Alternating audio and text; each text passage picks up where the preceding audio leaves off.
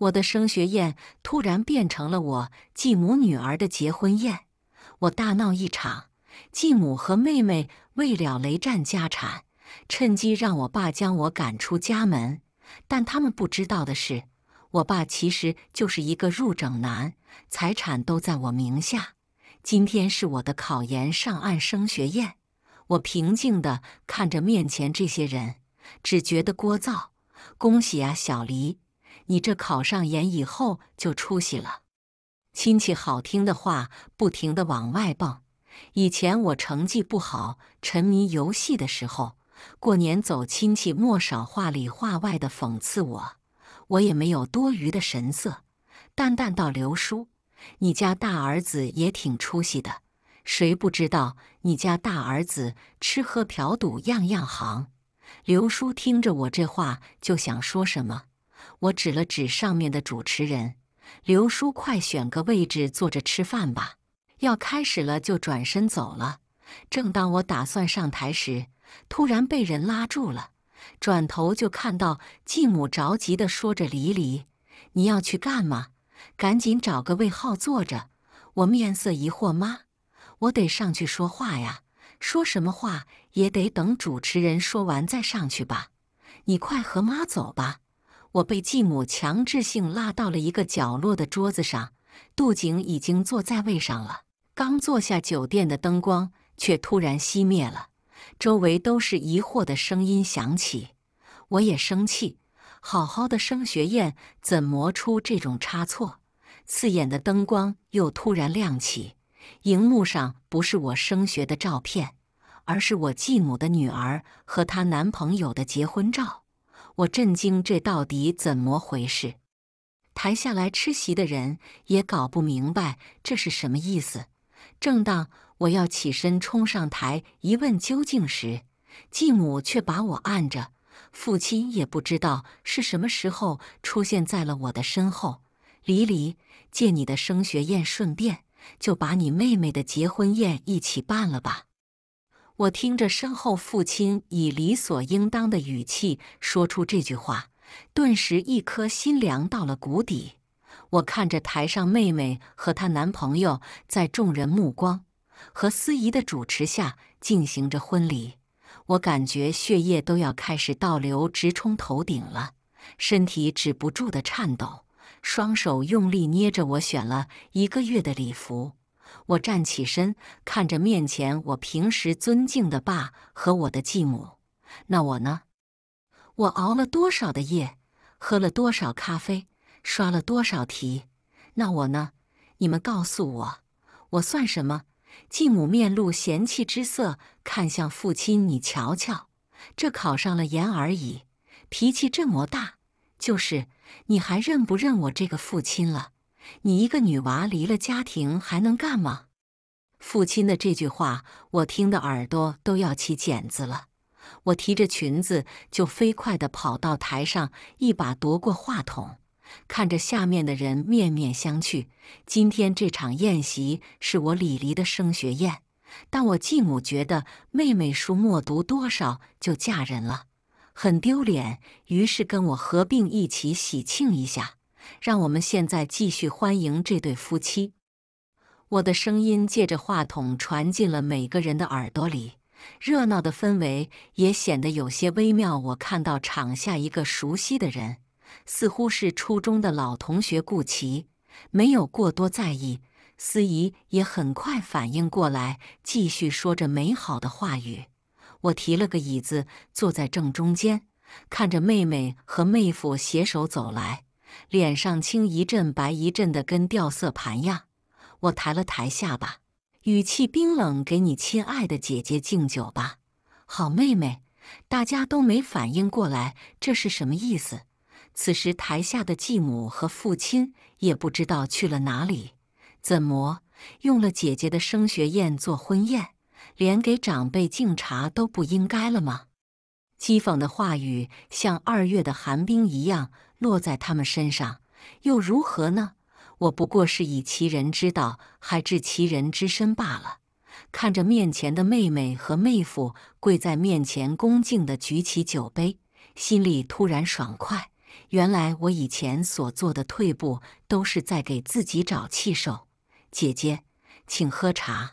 我接过手茶，小抿了一口，笑着拍了拍妹妹的肩膀：“好妹妹，姐姐祝你事业一帆风顺，夫妻生活幸福美满，儿孙满堂。”感受着妹妹的吃人的目光，心情畅快了许多。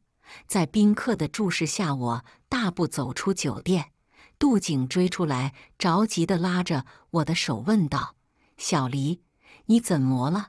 我一时有点莫明白他这句话到底是什么意思。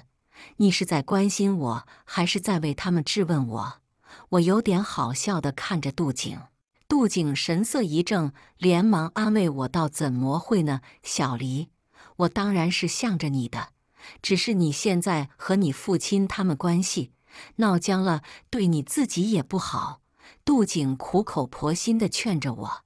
只穿着抹胸露背礼服的我，被这突然起来的风吹得打了个冷颤。够了！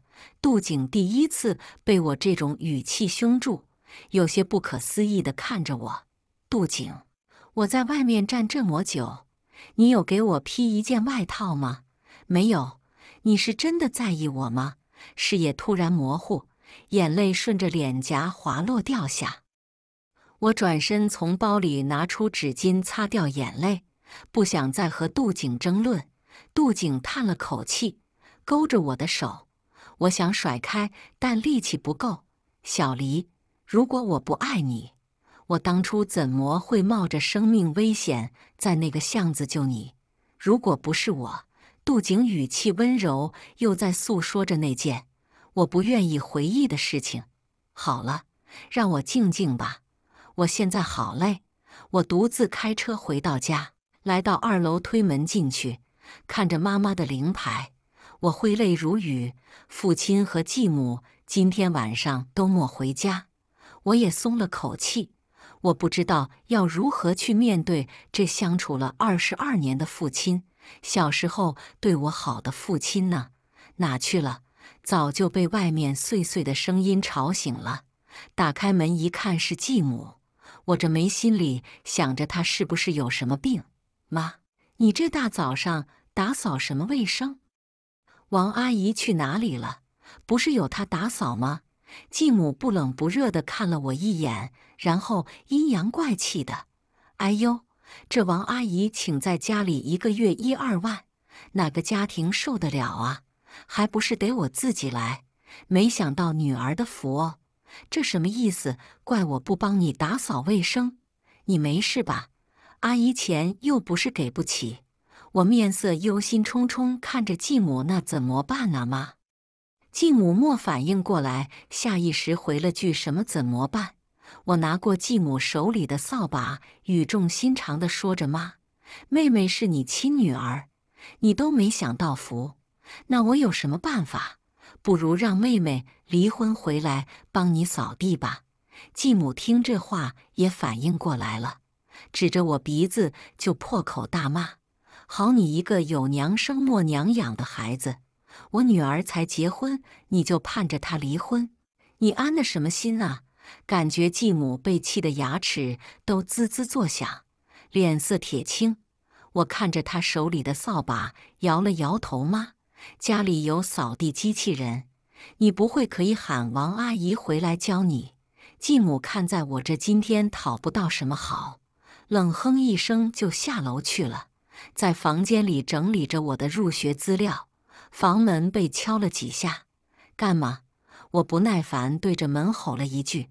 门口沉默了几秒，响起了王阿姨的声音：“小姐下来吃饭了。”我一怔，还真请回来了。知道了，王阿姨还在楼梯上，就听到继母向父亲说要买哪个奢侈品的新包，父亲也还真答应了下来。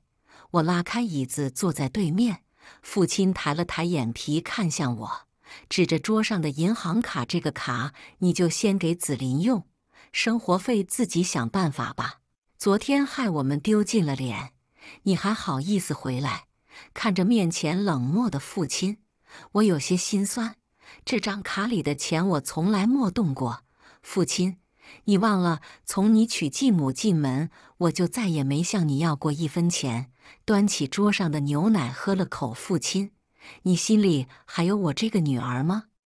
看着父亲脸上闪过的一丝愧疚，也就只是一瞬间而已。我搬出去住，不打扰你和刘阿姨二人世界了。说完，我就去二楼收拾东西了。父亲嘴里大骂我是不孝女，继母在旁边给父亲顺着气，说着：“女儿大了，总是留不住的。”晚上，我自己开着车，拖着行李住进了提前在学校附近租下的公寓。收拾完，都已经接近凌晨两点了。打开微信，就看到杜景发来的消息：“你离开家，自己出去住了。你在拿我来找你，小黎。”心里有些惊讶，杜景为什么会知道我搬出来了？打字回复道：“你怎么知道我搬出来住了？”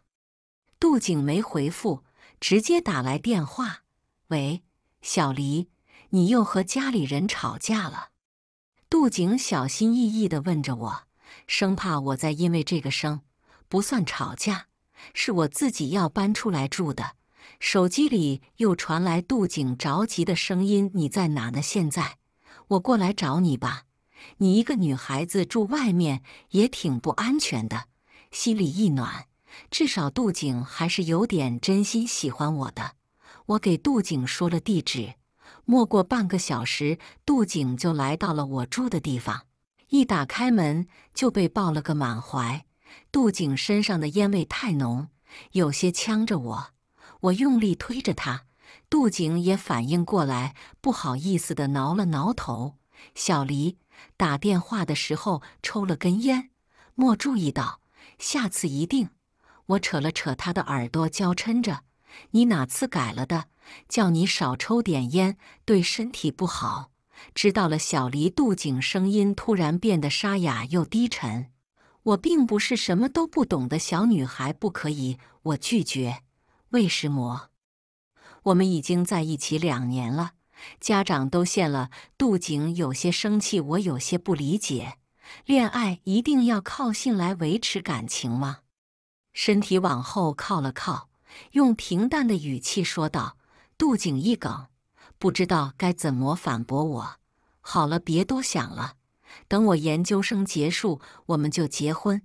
我抬手看了看手表，指着我卧室隔壁。时候也不早了，你先回去吧，爸。明天你不是还要上班吗？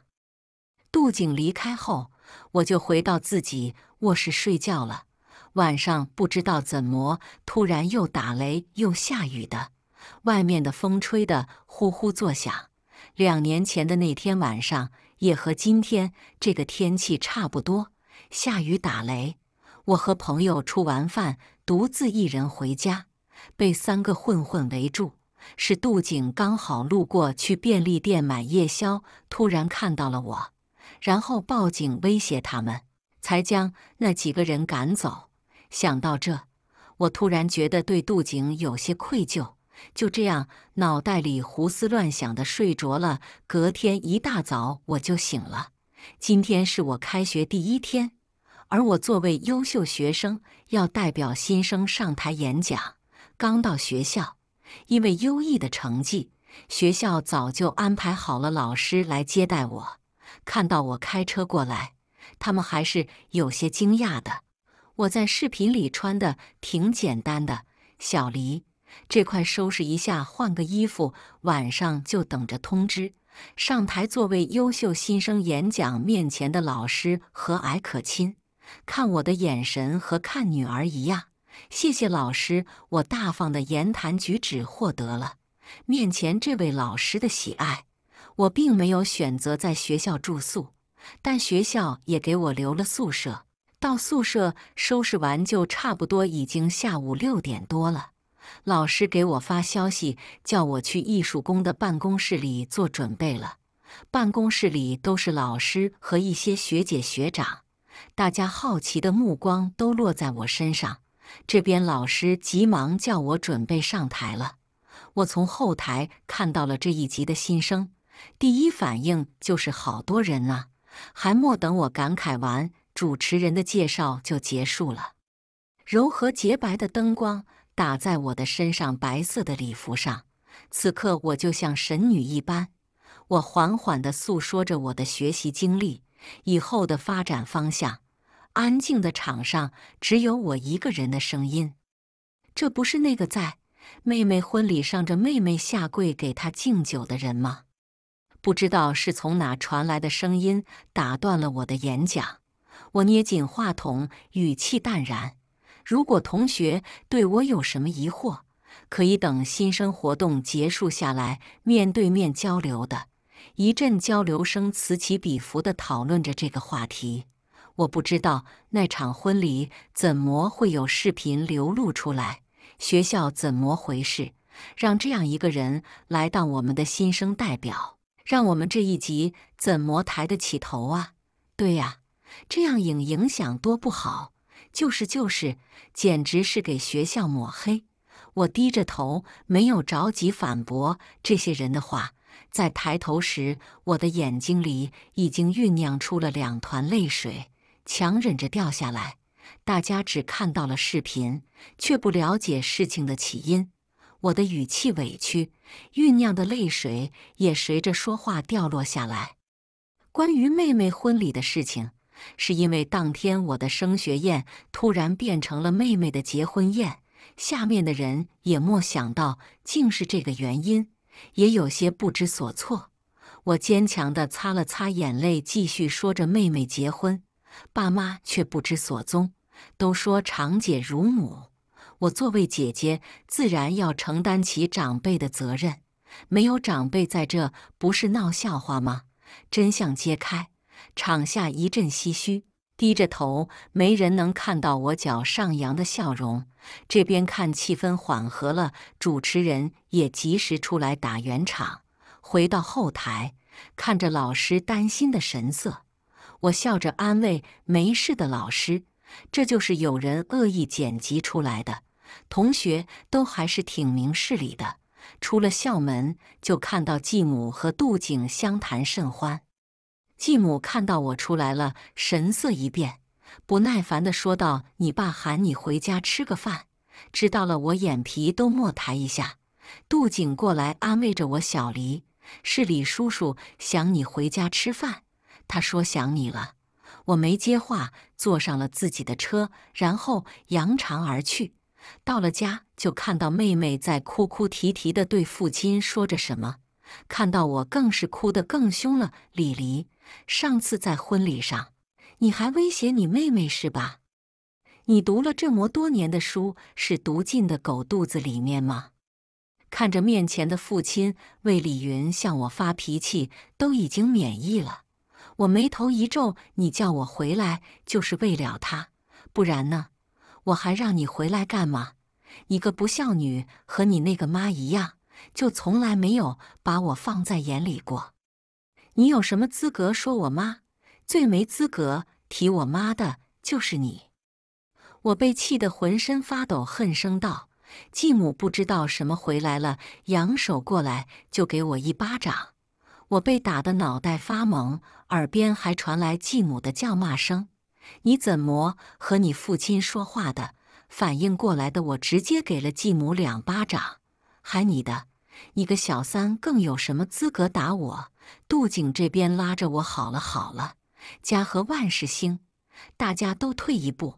听到这话，我更气了，挣脱开杜景，指着我脸上的巴掌印，语气激动：“你看清楚，我被打了什么家和万事兴？我哪有家？”我扣着继母的手，在她耳边低声说：“别以为我不知道你在背后做的什么事情。”今天我演讲上出的问题是你策划的吧？你真狠，连你自己的亲生女儿都卖。继母盯着我，恶狠狠的是又怎么样？你有证据吗？我没说话。继母看着我这个样子，也笑出了声，拍了拍我的脸，像一只斗赢了的公鸡。这顿饭我看你也别吃了，赶紧滚吧！父亲怒吼道。看也不想看我，我也没打算自讨没趣，提着包就走。杜景跟在我后面，沉默不语。小黎，我觉得你应该和你爸爸好好谈谈。杜景率先打破局面，谈什么？你告诉我。我靠在车旁边看着他，看着面前这个男人，说不出哪里的怪异。杜景还没听出我话里的意思，过来欣喜地拉着我的手。你想，你一个女孩，以后结婚没有你爸爸的支持，房子、车子什么的。不都会便宜了你继母的女儿吗？你觉得我买不起？杜景急忙解释：“不是买不起，这些本来就是你应得的。”听到这话，我觉得有点好笑。不知道杜景的脑袋是怎么长的，能说出这种话？你想吃软饭？杜景听到这，表情凝固。没有啊，小黎，你是还莫等他把话说完，我就不想听下去了。你想和我结婚，不应该我们两个一起努力吗？何柱就想让我跟我爸要车要房，然后你就坐享其成吗？我冷哼，你想的可真美好。杜景脸色涨得通红，支支吾吾的半天，莫说出个什么话来。回到学校，我叫老师帮我查今天演讲的监控，找到挑事的人。我拍了张照片，就打算离开。突然在监控中看到了两个熟悉的身影，我叫老师帮忙放大。两人戴着口罩，在树下面站着，相谈甚欢。我仔细对比了一下，竟然是继母和杜景。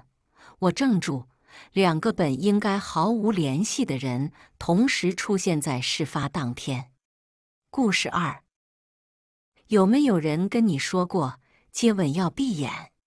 男人放开我，用大拇指把唇边的口红印擦掉。我看着他唇上的印记，喉咙紧了紧，满脑子都是刚才亲上去时的画面。他睫毛好长，鼻子好高，唇好软。可这男人居然是傅甜甜的小叔。作为金融系的学生。没有人不知道傅延初，年纪轻轻就多次登上知名财经杂志。他受欢迎主要是有两点：第一，因为长得帅；第二，因为坏。凭借着杀伐果断以及剑走偏锋，二十七岁就已经走上了人生巅峰。怪不得我刚才说有点脸熟。没想到金融圈大神居然还有闲心来看演唱会。傅甜甜，这么晚了还不回去？他沉声开口。傅甜甜狗狗碎碎拉着我前男友季川要逃。听到这句话，脚步顿了顿，他转过身来，都要哭出来了。小叔，你别跟我爸妈说。傅延初冷着脸，哪怕是坐着。都有一种震慑人的气场在。他手摸着腕上的手表，抬眼看过去，声音淡淡：“学会骗人了。”我不由得屏住了呼吸，挺直背脊，坐得规规矩矩。旁边的季川还不怕死地拉着傅甜甜的手，居高临下看着傅延初：“小叔，这都什么年代了，还不让人谈恋爱吗？”傅延初眼神冷冷的扫过去，季川似乎是被他吓到了，咽了咽口水。傅甜甜赶紧拉住他，低声嘟囔：“你别添乱了。”然后可怜巴巴望着傅延初：“小叔，我马上回去。回去后让管家给我回个消息。”傅甜甜连忙点头，拉着季川就跑了。我盯着他们的背影。后背汗都快出来了，男人陌生的声音穿过嘈杂的人声传到我耳边：“小朋友，现在是不是该算算我们的账了？”我心里一咯噔，转过头来望着他，他一副好整以暇的姿态。我哆嗦着：“小小叔，对不起，对不起，就完了。”他淡淡扫了我一眼，咽了咽口水。我完蛋了。第二天一大早，我就被舍友们摇醒了。鱼鱼，你快起来！卧槽，鱼鱼，你是我的神。鱼鱼，你火了？我揉着睡眼惺忪的眼睛，盯着舍友递过来的手机。热搜上出现的词，差点没让我晕过去。井号傅延初音乐节草莓吻，井号井号金融圈顶流傅延初深夜幽会神秘女子，井号井号傅延初女友，井号我盯着那个傅字，久久不能平静。那鱼已经凉成这样了，一个圈外人都能霸占这么多热搜词条。我点进去，不断有新的话题出现。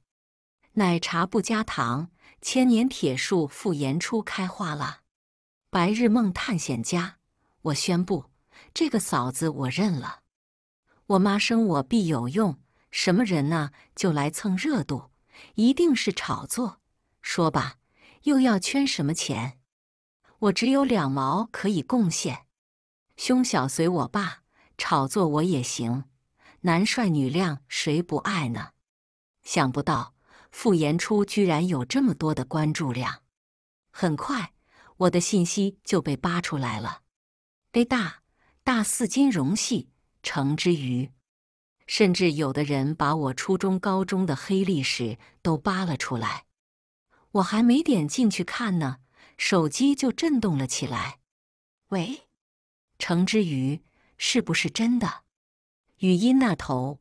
我听到专业课林老头亢奋的声音，咱们学校正好要邀请他来讲座。既然都是一家人了，程之瑜，你帮个忙说一声。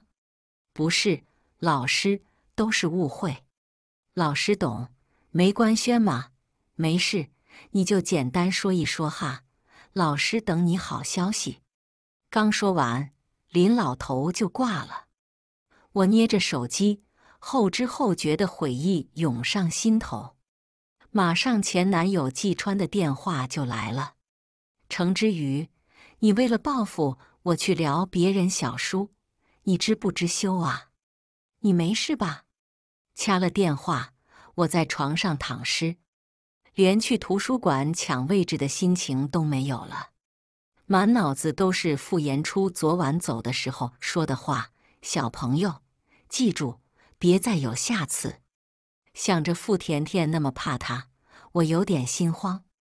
刚下床，又有电话来，是傅延初的助理，约我面谈，已经在校门口等着我了。一定是要开新闻发布会澄清，是吧？我背着双肩包就跑了出去，后面室友大喊：“鱼鱼，戴上口罩啊！”果然。还没到校门口，我就看到了很多记者。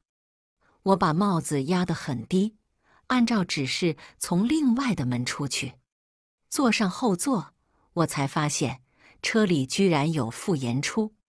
我瞬间如惊弓之鸟，乖巧坐好，一动也不敢动。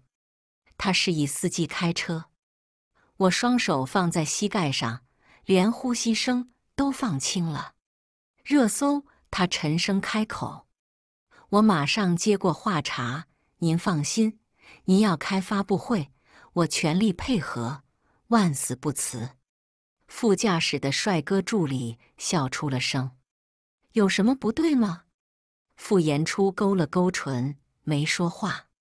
我赶紧把帽子拿下来，诚诚恳恳道歉：“小叔，对不起，昨天是我冲动了。”给你造成了困扰，十分抱歉。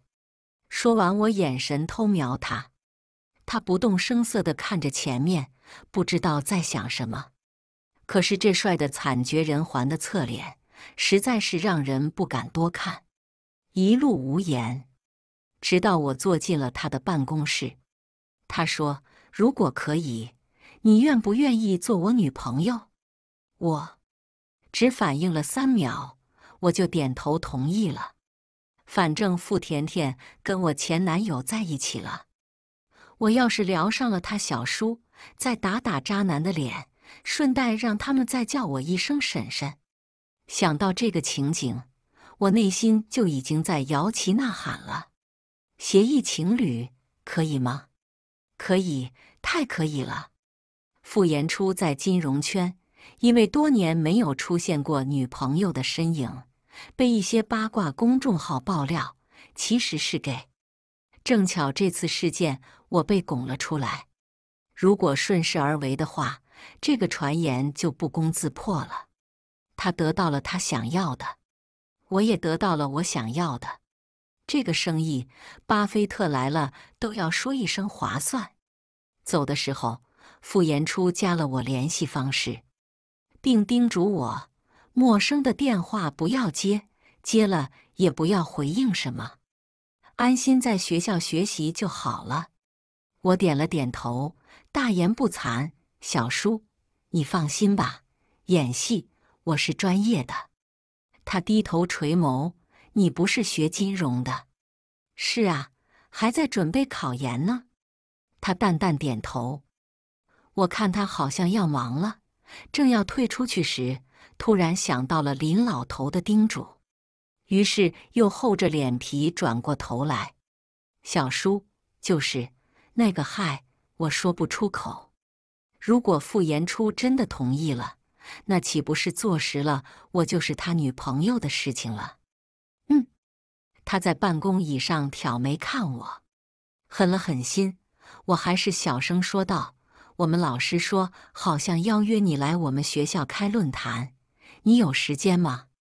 他盯着我，我有点发怵，赶紧解释：“没有也没关系，我跟我们老师说一声就行，不打扰小叔工作了，我先走了。”刚要转身，傅延初开口了：“有时间。”我一脸懵逼的回到宿舍，就这么成为傅延初的女朋友了。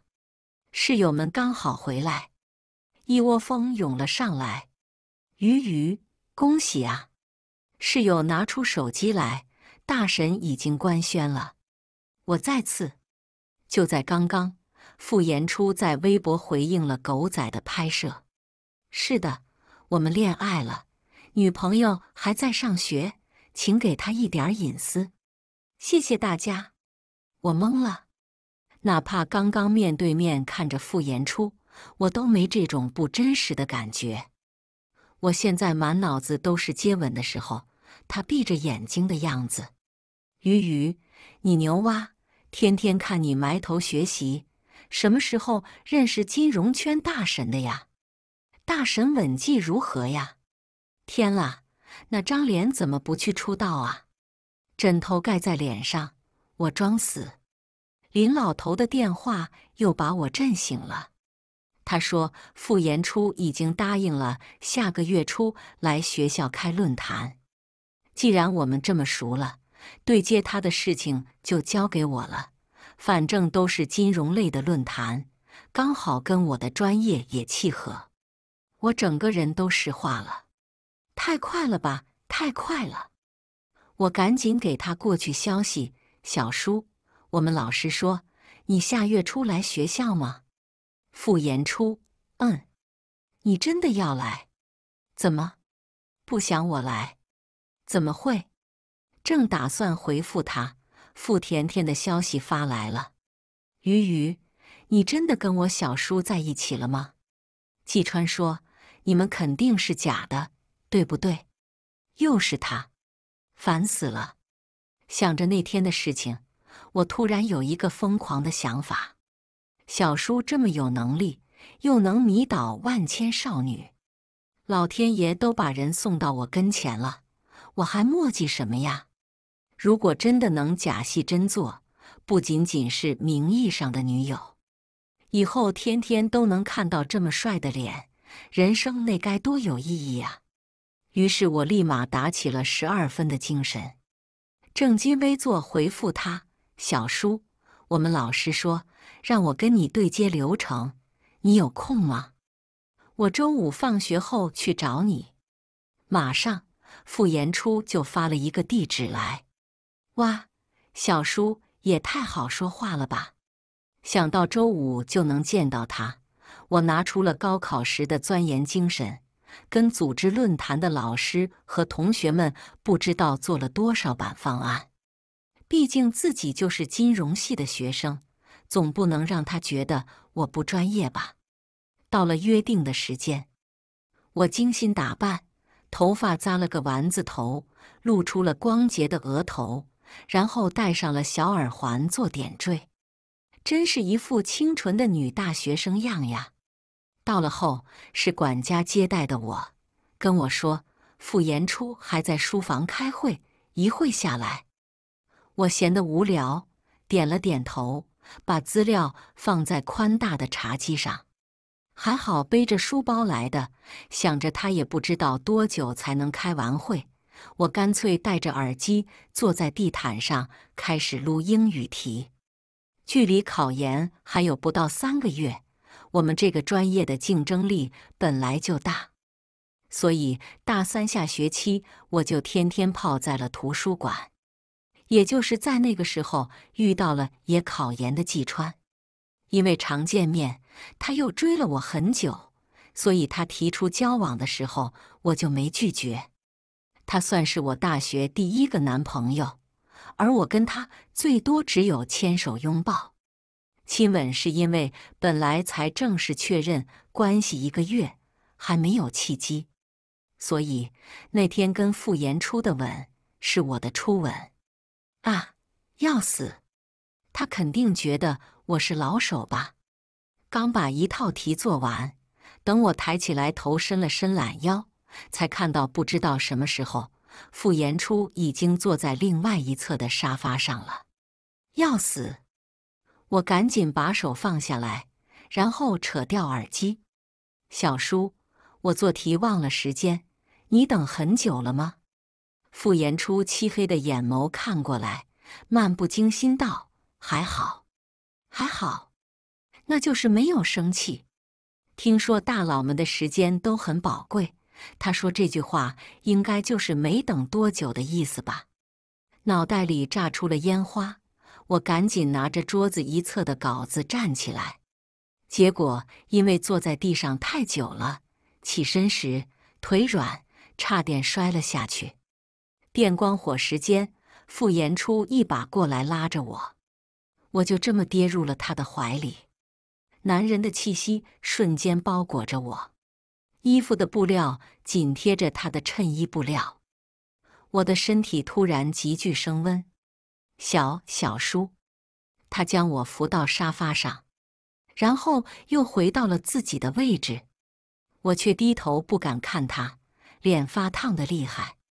等缓了缓后，我才抬起头来。我跟你对一下流程吧。他依旧是那副淡淡的样子，点了点头。没想到一对就对到了很晚。等意识到的时候，我的肚子已经在叫了。啊，好尴尬！我赶紧捂着肚子，离他远了一点。傅延初眼神扫过来，我赶紧把头埋下。然后听到他的声音，在这儿吃吧，默默扒饭。我也不知道该跟他说些什么，毕竟我是学生，他已经工作了，我们之间还差了六岁，属实是难搞。但勇敢于鱼，不怕困难。我抬起头来望向他，小叔，你平时工作很忙啊？他掀了掀眼皮，目光看向我。工作中的男人最有魅力了。傅延初，小叔，你们公司有实习生的名额吗？你不是要考研？我帮同学问问。嘿嘿，要是有，我就让他们赶紧投简历。你倒是挺热心，是吧？我是班级里的爱心委员吗？傅延初轻笑两声。我还想继续说话的时候。他手机响了，明显感觉他皱了皱眉。他接起电话来：“是的，我是认真的，已经官宣了，是我女朋友。”说这句话的时候，他的目光看向了我，四目相对，我的脸蹭蹭蹭就红了，赶紧低下来头来吃饭。挂了电话后，他说明天还来吗？啊？流程还需要对一下，原来说的是这个。他刚才确实是提了很多建议。我原本以为以他在媒体里的形象，肯定是那种特别不好相处、特别会挑刺的人，没想到他说话很中肯，语气也蛮温柔，好像也不是那么不近人情。不会打扰到你吗，小叔？我会专门抽时间。好的，我吃完了，那我先回去了。小叔再见。起身要走时，他开口：“这么晚了，我送你。”坐上傅延初的车，我都还有点懵。我把书包放在双腿上，悄悄瞥了一眼他。小叔，谢谢。空气突然又安静起来。你我们俩同时开口。他轻笑：“什么？你平时有什么爱好吗？”“嗯。”都是一些成年人的爱好，你应该不会喜欢。成年人的爱好，卧槽，不会是这个那个吧？这是能说的吗？看我震惊的样子，他解释：棋牌、高尔夫，吓死我了。哦，我喜欢乐高，压力大的时候就喜欢拼。他转过来头盯了我一眼，又转过头去，怎么了吗？考研是准备考本校吗？我摇了摇头，不想在本校了。我打算去隔壁大学。哦，隔壁也是九八五，男生还多。嗯，男人的声音有点冷。男生多，我赶紧捂住嘴，有些心虚，只好强行为自己挽尊。我是说那个完了，我编不下去了。作为一个名义上的女朋友，当着男朋友的面说这种话，他不会以为我是那种很轻浮的女生吧？第一次见面就强吻了他，现在又当着他的面说考研要去男生多的地方，我恨不得咬断自己的舌头。傅言初淡淡道：“还有一会才到学校，你可以多想想怎么编。他是我肚子里的蛔虫吗？”我放弃了，只好实话实话。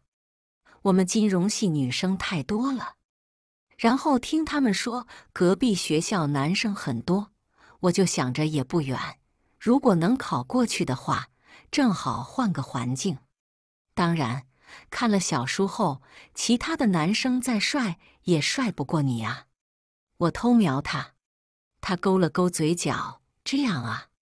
我赶紧点头。开始彩虹屁，小叔，你这姿色，金城武来了都自愧不如。我要是经纪人，现在就签你出道，明年你就成为天降紫薇星。你不是爱心委员，是学习委员吧？啊，成语用的倒是溜。下车后，我俯身凑到窗边，谢谢小叔，小叔明天见。傅延初轻声开口：“回去吧。”洗漱完后，我拍了一个用功学习的照片发给他，想着小叔的脸，就有了学习的动力。我是陀螺吗？不，你是我的榜样，是我人生的方向。傅延初第二天去他家的路上，我又刷到我跟他新的物料。景浩傅延初大学生女朋友，景浩原来是昨晚又被拍了呀！我点进去，对方正在长头发，小姐姐也太好看了吧！我已经脑补出霸道总裁和他的小娇妻剧情了，一顿要吃七碗半，傅总的眼神也太宠了，杀了我给你们助兴，这就是异性恋的美好吗？KSWL。我捧着手机，脸上的笑就没有停下来过，直到我看到了有一个名为“傅言出城之余今天分手了吗”的博主，从我们被拍的那天就建起来了。没分，去看音乐节了，还官宣了。没分，傅言初要去参加他学校论坛了。没分，女的去他家了。没分。开车送他回学校，我反手就是一个关注。哼，我就偏要让你这个微博永不停更。坐上地铁，我给傅言初发消息：“小叔，我在来的路上了。”换好鞋子，傅延初正在窗边打电话。白色衬衫，黑裤子，单手插兜，头发梳得一丝不苟，妥妥精英男，但又有那么一点禁欲系的感觉。妈耶，DNA 动了！原来成熟的男人这么有魅力。我轻手轻脚坐到昨天的位置，把电脑拿出来。昨天他提的修改意见都改完了。今天确认后就可以发给大家筹备了。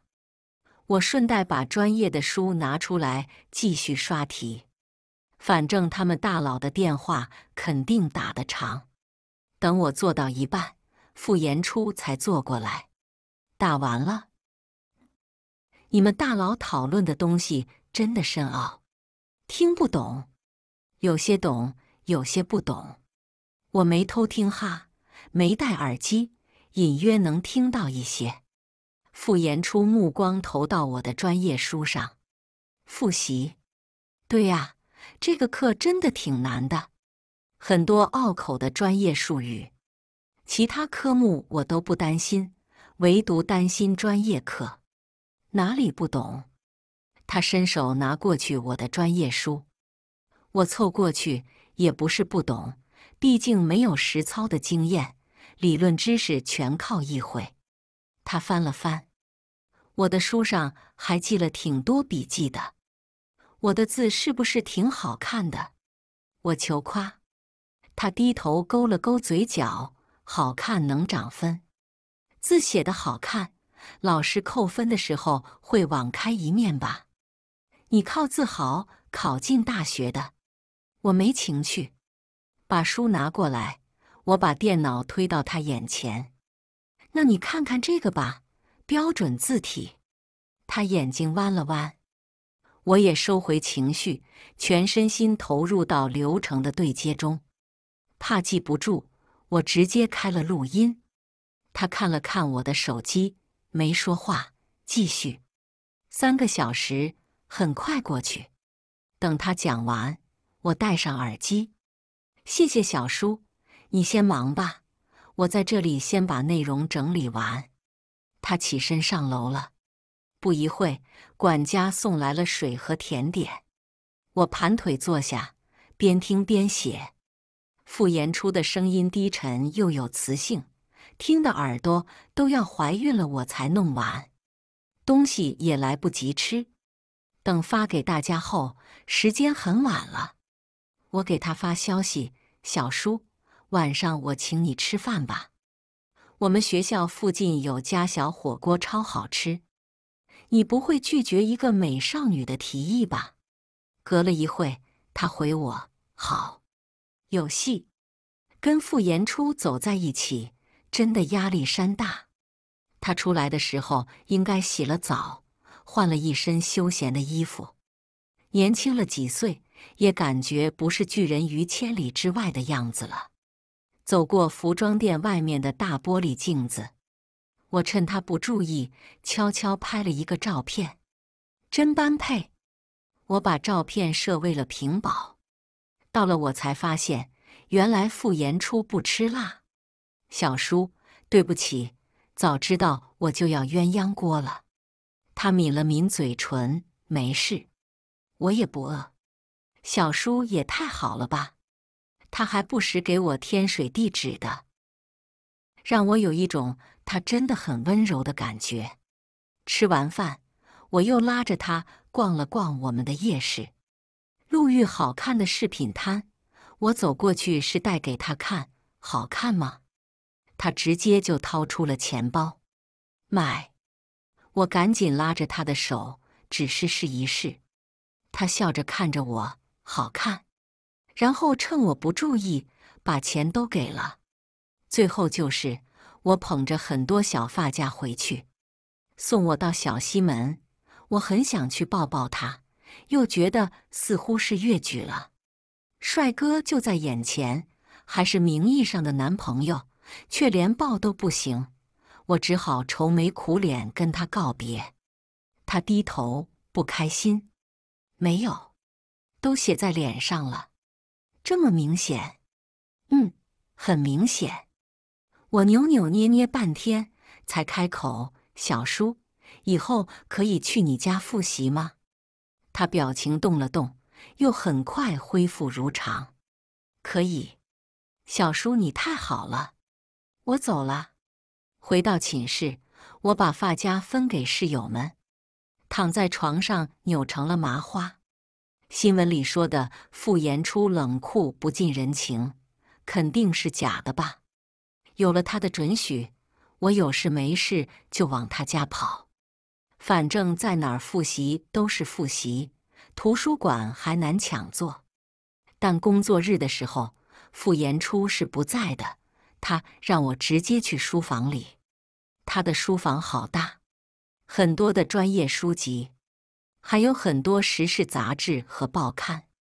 所以，天之骄子的背后，傅延初也是在不停的努力吧。没有谁能随随便便的成功。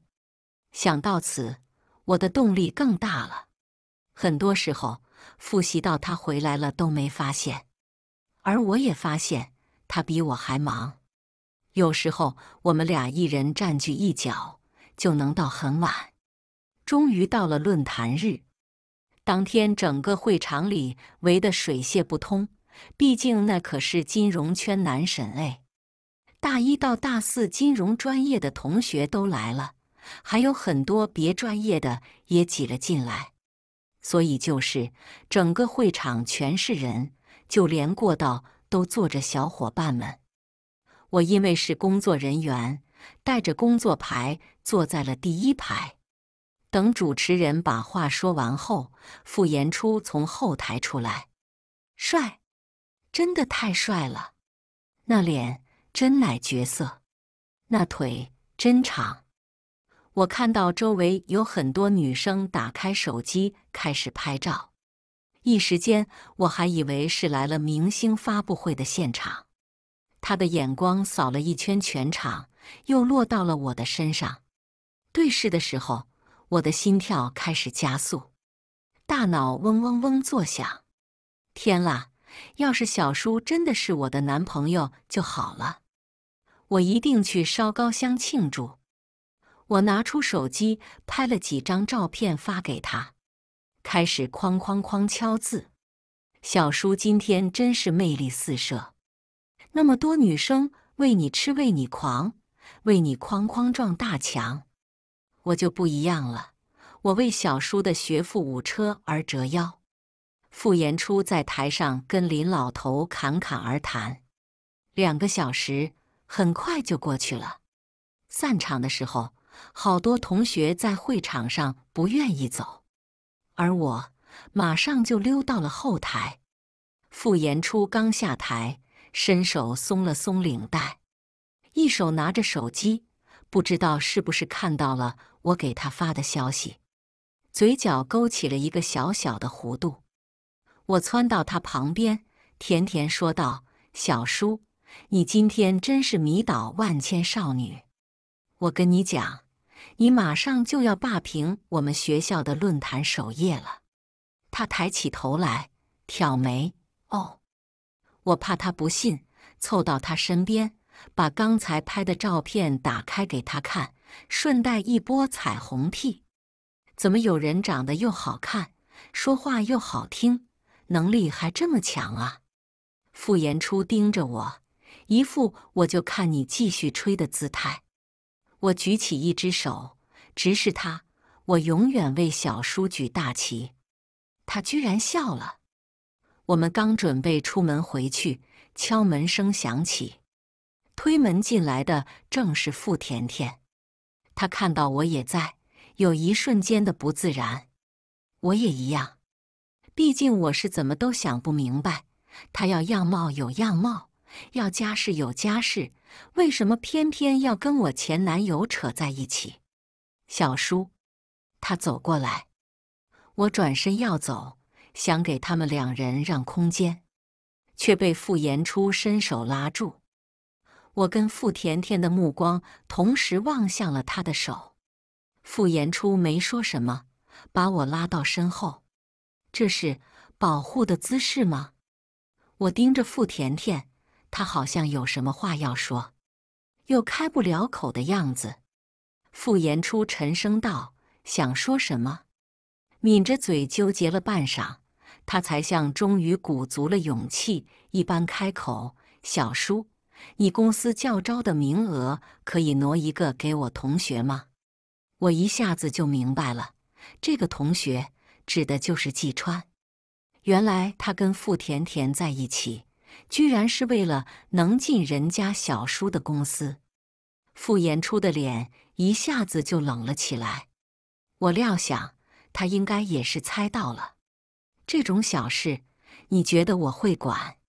小叔，您只需要开口说一声就好。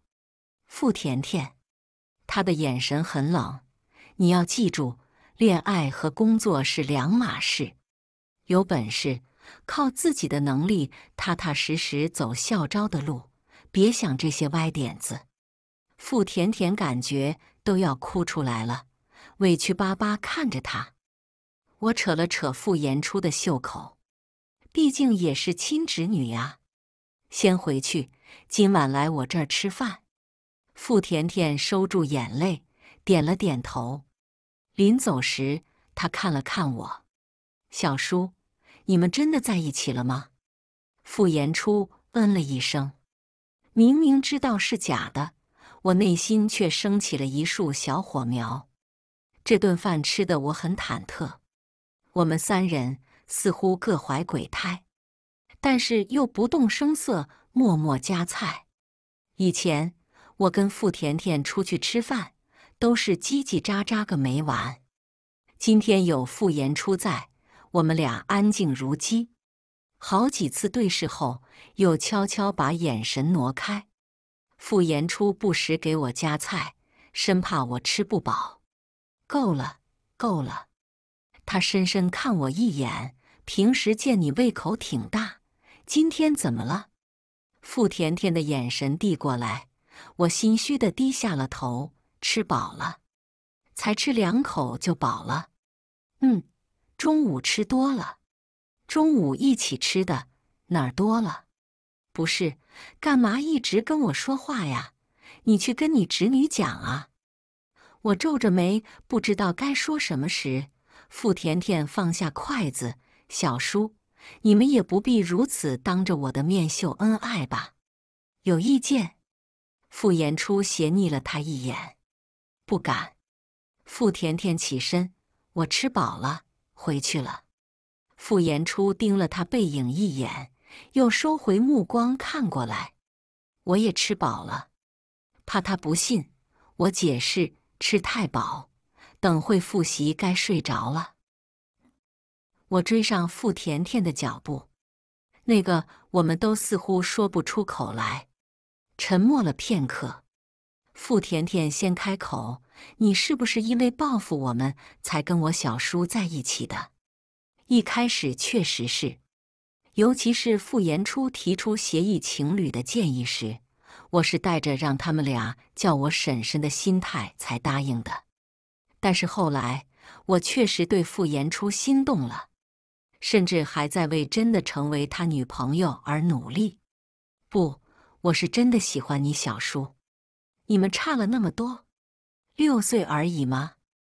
我小叔脾气不好，人又冷，他应该不会喜欢你这样的女生的。那他喜欢什么样的？围在他身边的都是家世好的、长得好看的，反正不是你这样的学生。可是他还是跟我在一起了，所以说一切皆有可能。鱼鱼，我小叔很难搞的，我不觉得呀。你小叔人那么温柔，有时候他戴着眼镜看书，那温柔的的样子，我真恨不得摘下眼镜亲晕他。温柔，傅甜甜不可思议的看着我，你真的是被爱情冲昏了头脑，你不也是吗？傅甜甜哑口，甜甜，再怎么样，季川都不应该把自己的前途压在你身上。大家都是成年人，他应该知道我说的是什么。回去前，我说我是真的希望你能开心，却在拐角处被傅延初堵住。他慢条斯理摘下眼镜，卧槽卧槽！刚才心里想的事情，不是马上要发生了吧？他伸出一只手，轻轻把我额边的碎发别在耳后。听说有人很喜欢我，不是？怎么这么大的人了，还听人墙角啊？我脸刷就红了，支支吾吾，那不是很明显的事？他眼睛盯着我，我不好意思的挪开，他却只是伸出了一只手，挠了挠我的下巴。考研加油。我不自然地点了点头，逃了。距离考研还有不到两个月，我又开始了魔鬼式的复习。傅延初起初安排司机每天接送我，后来有一次我不小心睡着后，他就单独给我留了一间房。我索性就顺坡下驴，半驻扎在这里了。好多次，我学累了起来。都能看到他好看的脸，也在看着专业的书籍。看书的时候，他喜欢戴着一副金边眼镜，那气质真的绝了。大神都这么努力，我也没有不努力的道理。某天，我看着他长长的睫毛，提议：“小叔，专业课你可以不可以帮我辅导一下？”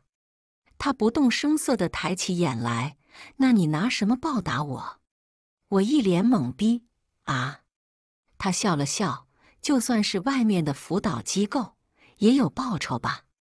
愣了愣，我小心翼翼望着他，那把我作为报酬？他微微皱眉，我战战兢兢，我没钱，只有对你的一腔热血。他的眉头很快舒展开来，俯身过来，哪里不明白？他身上有好闻的木质香。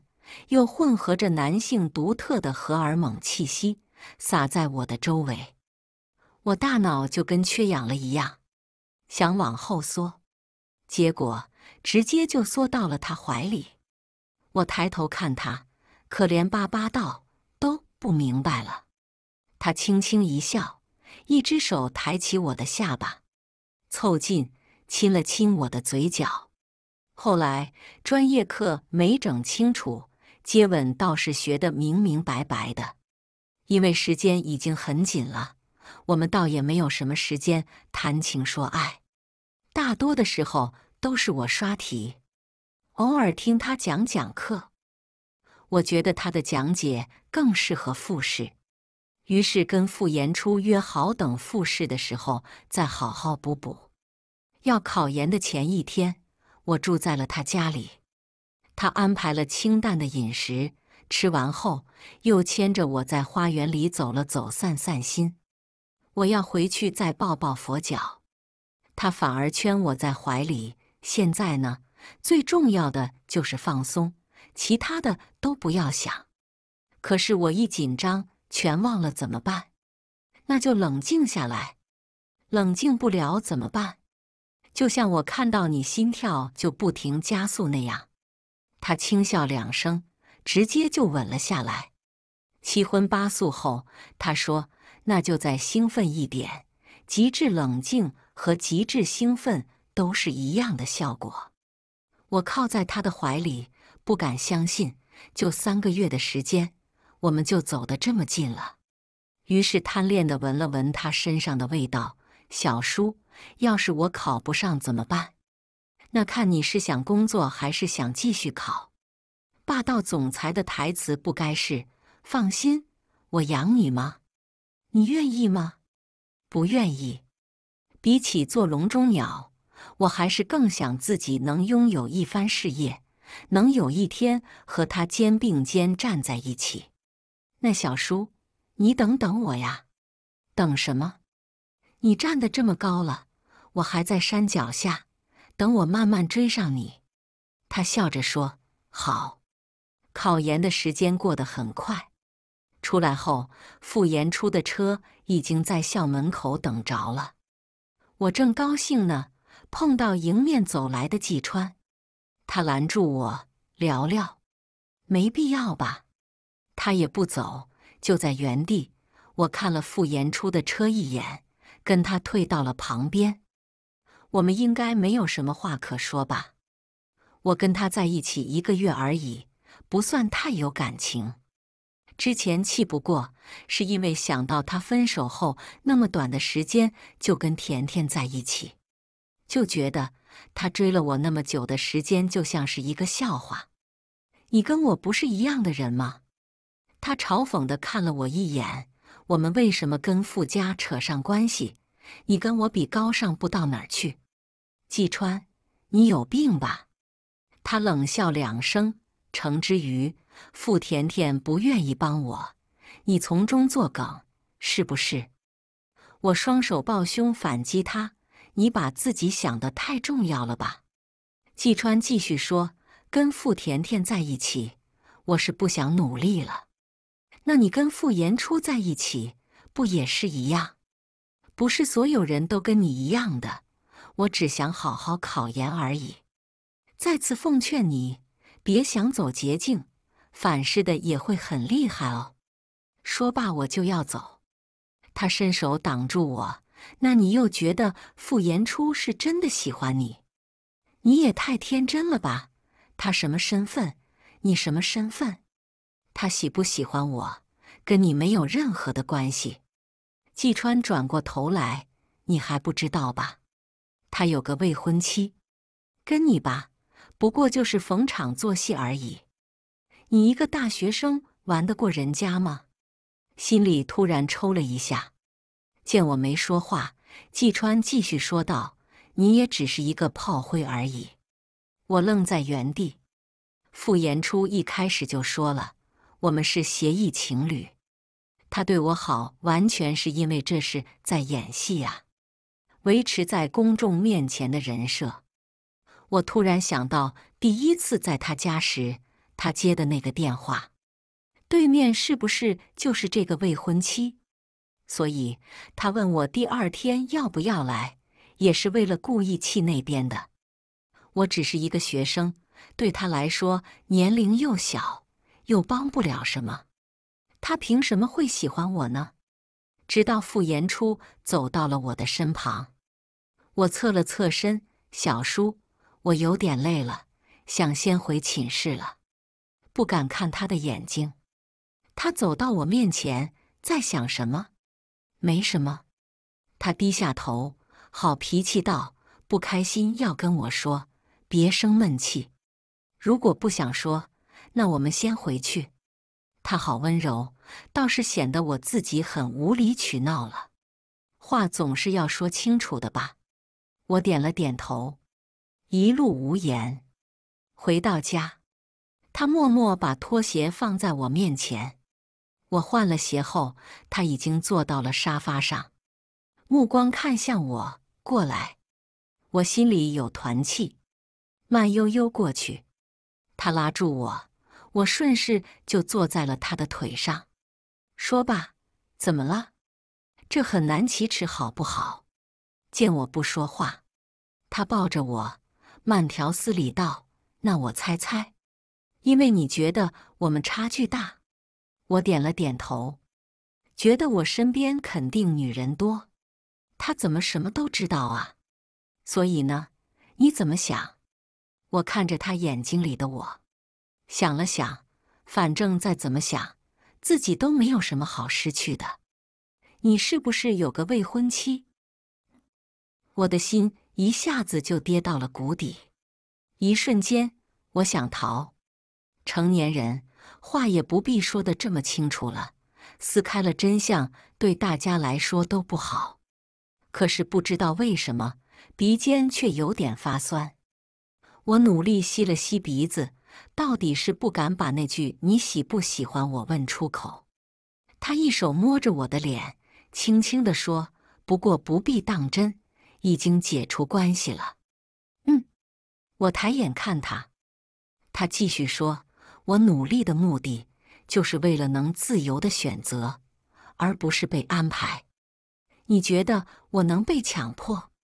那为什么会选择我？我小心翼翼看着他，因为喜欢你啊！你不值得喜欢吗？蓦地，脑子升起了烟花，脸上又止不住扬起了弧度。他望着我，一脸宠溺，开心了。我点了点头，亲了亲他的脸。可是我还是压力很大呀。我还是个学生，还要考研。我们之间相差了六岁。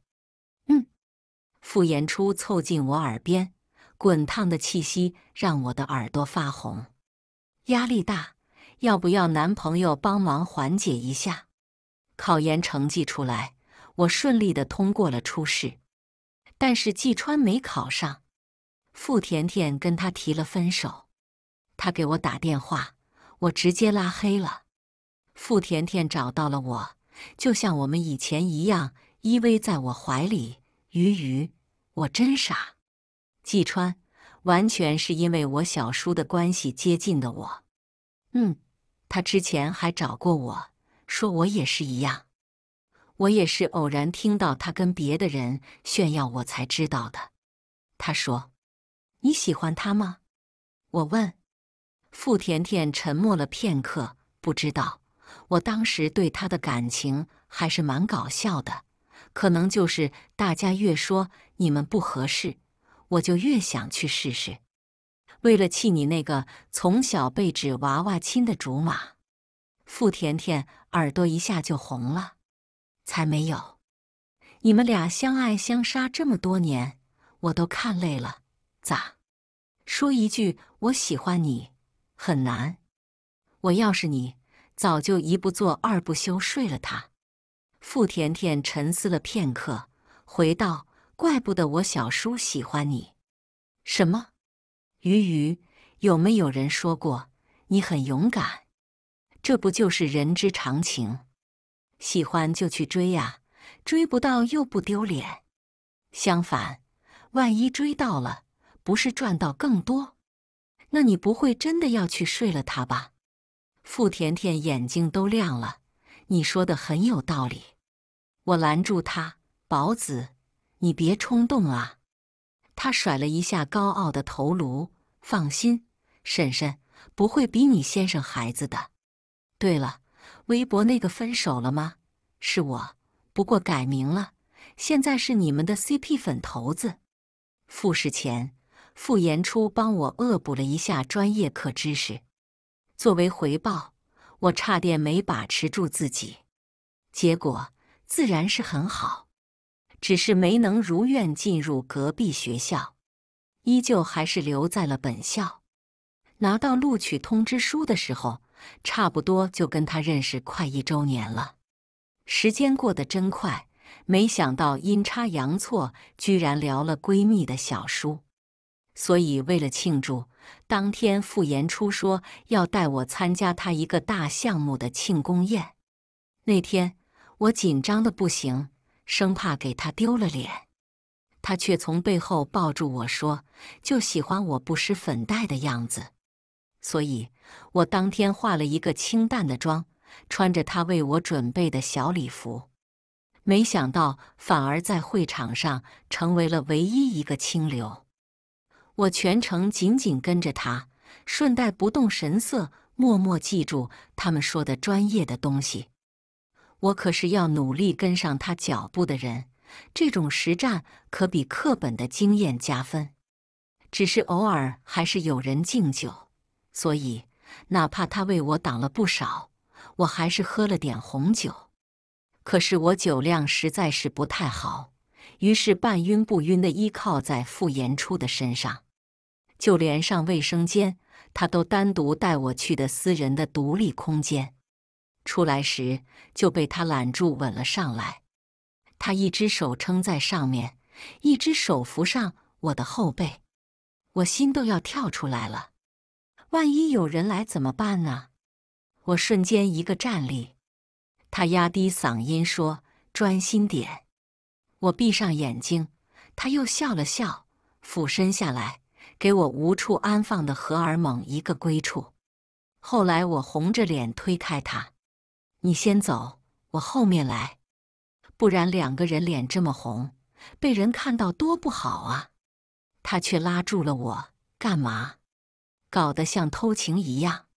你别瞎说，我们是正经男女朋友，你害怕什么？”我无奈，只好被他牵着出去。后来被傅甜甜看到，那眼神真的是让我无地自容。傅延初却拉我过去。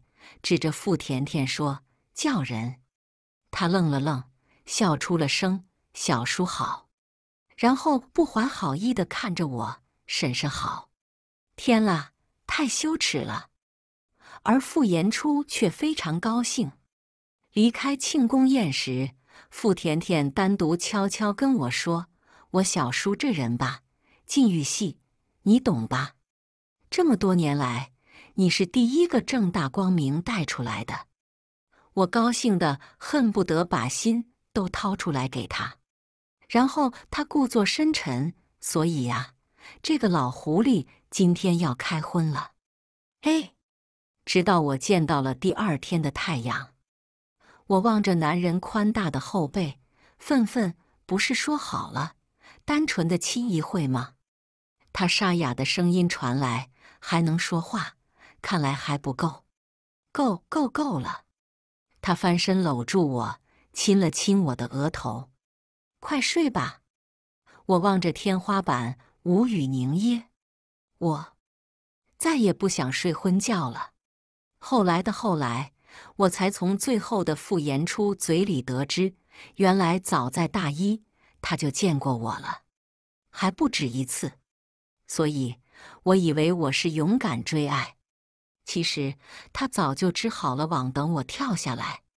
我问他为什么要协议情侣呢？他说：“一下子说当我女朋友，你会相信吗？”我怎么不会相信？我又问：“为什么第一次强吻他后，他会说别再有下次？”他说：“是个男人都不想做喜欢女生的备选啊，尤其还是为了气别的男人，所以。”那是对我的惩罚，我这么小气。再后来，我研究生毕业前夕，他专门给我留了一个乐高房，房里还有他不知道什么时候拼好的两米高的宇航员。他举着大大的戒指，介意毕业就结婚吗？哪怕我内心已经疯狂蹦迪了，但表面依旧镇定。不行。等我真正并肩跟你走在一起，他搂住我，那别让我等太久哦，宝贝。那是当然，年轻人的征途可是星辰大海呀。